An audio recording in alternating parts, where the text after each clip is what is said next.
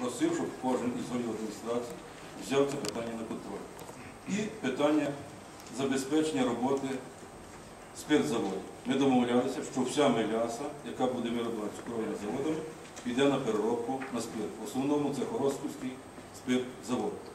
Тому і це питання повинно бути на контролі. Не дай Бог, щоб меляса пішла в інші області, Це а потім тема окремої розмови, Степанович, ми будемо по-різному говорити.